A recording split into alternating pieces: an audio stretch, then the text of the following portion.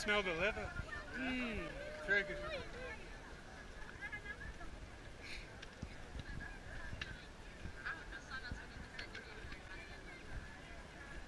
The market is divided into different group of uh, things that you can get the crops here like peas and uh, uh, lentils here and the tomato and uh, some vegetable part is also in the middle the coffee also in the other part